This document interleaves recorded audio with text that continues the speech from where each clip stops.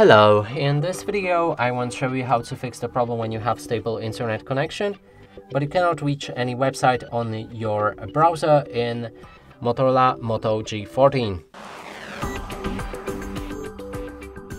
To do this, let's launch our Google Chrome and here if we refresh already opened page, as you can see there's a problem and when we try to reach new one like uh, YouTube, Facebook or whatever, there's also the same thing.